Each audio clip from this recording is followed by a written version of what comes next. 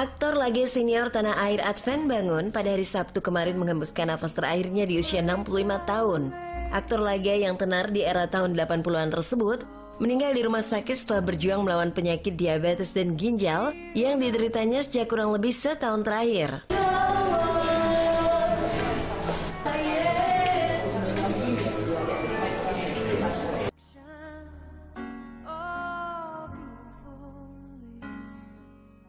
Uh, meninggalnya itu jam setengah tiga subuh.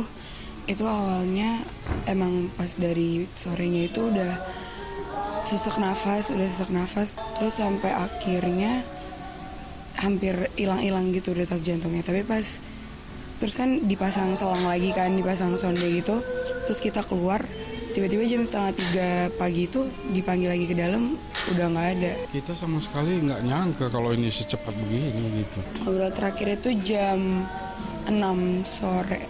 Enggak sih, enggak ngomong dia apa-apa. buka mata terus dia bilang capek, capek. Iya, lelah dia capek, bilang. lelah, lelah gitu aja.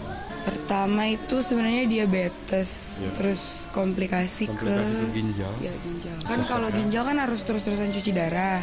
Nah, cuman karena kemarin ada beberapa kendala jadi nggak bisa cuci darah, jadi cairannya ngumpul di dalam tubuh dan itu bikin paru-parunya apa tenggelam jadi kayak sesek gitu. Lalu semasa hidupnya seperti apakah sosok mendiang Advent Bangun di mata keluarga? Serta adakah pesan-pesan terakhir dari mendiang sebelum mengembuskan nafas terakhirnya? Dia tuh kelihatannya mungkin orang kalau kenal lihat mungkin dikiranya keras gitu.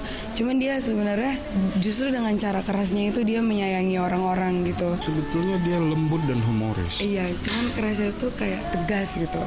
Adalah beberapa antara lain dia pengen ini jadi pendeta juga. Oh iya, iya karena bapak kan juga terakhir jadi pendeta gitu.